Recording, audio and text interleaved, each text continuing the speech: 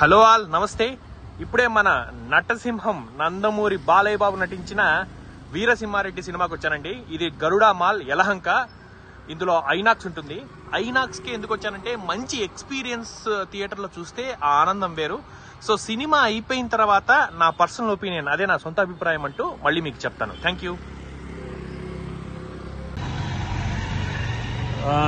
Friends ఇప్పుడే అయిపోయింది.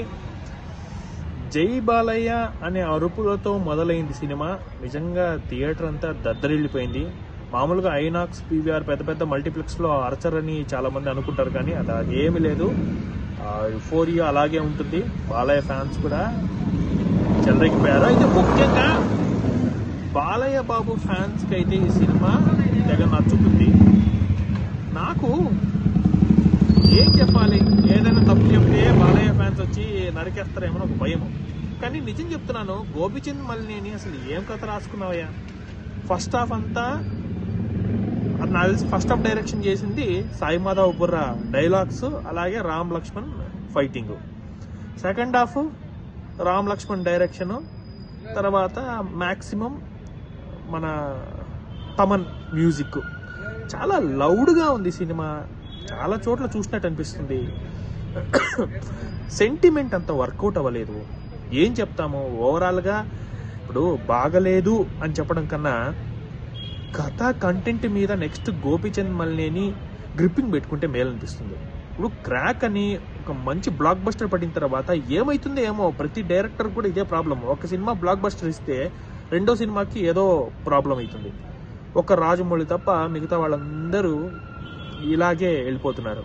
దయచేసి చూసుకోండి అయ్యా కొంత కంటెంట్ ఉండాలి కదా. ఇప్పుడు బాలకృష్ణ గారి యాక్షన్ కానీ మన బాలయ్య బాబు నిజం చెప్తున్నాను ఏజ్తో సంబంధం లేదు డాన్స్ కుమ్మేశారు.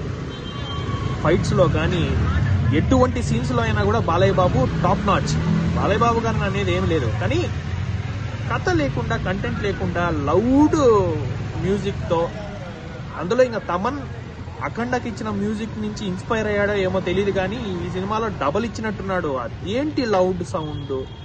Fightings fightings fightings. నాలుగు ఫైట్లు రెండు పాటలు. నాలుగు ఫైట్లు రెండు పాటలు ఒక సెంటిమెంట్ సీన్. ఇదేనా? బాలయ్య బాబు దగ్గర నుంచి మేము ఎక్స్పెక్ట్ చేసేది డబల్ త్రిబుల్ ఉంటుంది. దయచేసి ఒక్కసారి అర్థం చేసుకోవాలి. గోపిచంద్ మళ్ళీ నేను చెప్పిన నువ్వు డైరెక్షన్ చేయలేదయ్యా ఇది. ఏముంది చెప్పు? డైలాగ్స్ నువ్వు రాయలేదు. స్క్రీన్ ప్లే రొటీన్గా ఉంది. సాయి మాధవ్ బోరా గారి డైలాగ్స్ అంతో ఇంతో కొంత సూపర్ అనిపిస్తాయి ఫస్ట్ హాఫ్లో. కొన్ని కొన్ని సీన్స్ అయితే ఓవర్ ది బోర్డింగ్ అది మనం చెప్పాల్సిన అవసరం అయితే బాలయ్య బాబుకి తగ్గట్టే ఉంటాయి కొన్ని సీన్స్ అంటే కొడితే ఎగడ్డం ఇవన్నీ కామనే. బట్ ఏమైతుందో నాకేం అర్థం కావట్లేదు. సరే ఓవరాల్గా బాలయ్య గారి ఫ్యాన్స్కి అయితే ఇది మంచి ఫీస్ట్ అని చెప్పాలి. నాలాగా సినిమాని అభిమానించి సినిమా కోసం ప్రేమించి అదే సినిమా కోసం తపన పడే వాళ్ళకి నిజంగా కొంత లెడ్ అనిపిస్తుంది. ఎందుకంటే ఇవి చూసి చూసి చాలైపోయింది. అయిపోయింది బాలయ్య బాబు గారిని కొత్తగా చూడాలని ఆలోచించే వాళ్ళలో నేను ఒకడిని ప్లీజ్.